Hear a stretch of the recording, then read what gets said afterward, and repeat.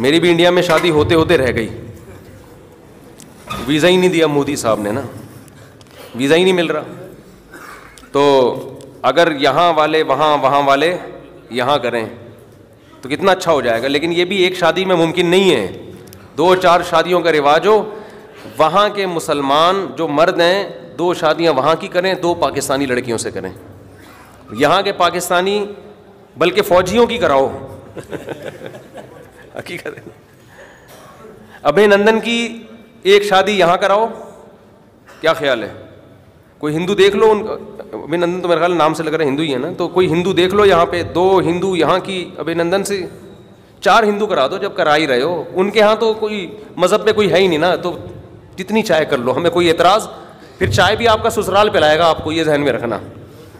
तो चलो दो से शुरू करते हैं ना, दो शादियाँ अभिनंदन की, यहाँ हिंदू लड़कियों से हो जाएँ और यहाँ के हिंदुओं की, वहाँ की दो हिंदू लड़कियों से हो जाएँ। यहाँ के मुसलमानों की चार शादियाँ, एक मर्द की, वहाँ की चार औरतों से। सॉरी दो यहाँ की, यहाँ वाले कहाँ जाएँगे फिर? दो यहाँ से और दो वहाँ से। वहाँ के मुसलमान की दो, वहाँ से दो, यहाँ से। देखो ताल्लुकात अच्छे ना हो तो मेरा नाम बदल देना। बाउंड्री ख़त्म हो जाएगी भाई। बाउंड्री ख़त्म हो जाएगी। बोले, मैं अपनी नानी से मिलने जा रहा हूँ तो मुझे बॉर्डर पे क्यों चेक कर रहा है भाई तू? जो बॉर्डर पे खड़ा होगा, उसकी खुद ममानी यहाँ रहती होंगी।